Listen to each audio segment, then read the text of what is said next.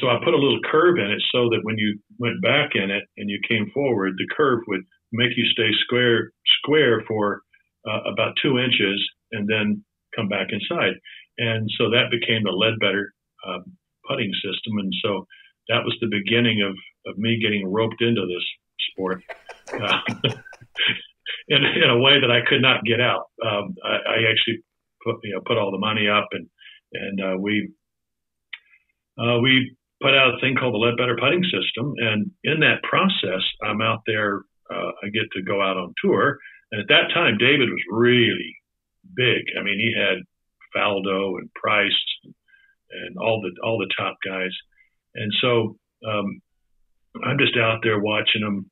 You know, I think Nick Price had the had the um, uh, um, zebra at the time, and uh, and I'm thinking, you know, none of these none of these um, these mallets, uh, you you know, none of them that you can't pick the ball up with them. You could with a ping, right? So that was as deep as I was at the time, you know. So, so I came up with this. so I said, you know, I'm going to come up with this mallet idea where they put a cavity in it so you can scoop up the ball. That was as deep as it was.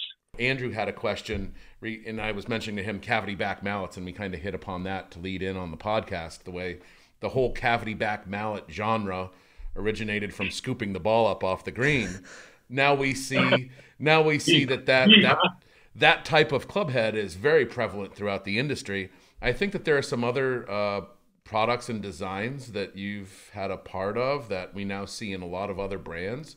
I think we'd we'd love for you to get a little bit into that as far as what originated from your your your designs that we now see throughout the entire industry.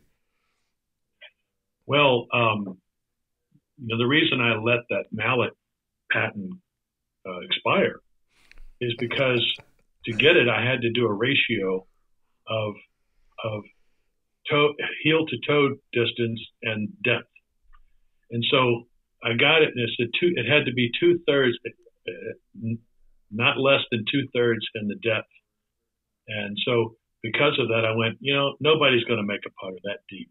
It's going to go back that far, and that's like two and a half, two and three quarters inches, and a four inch wide.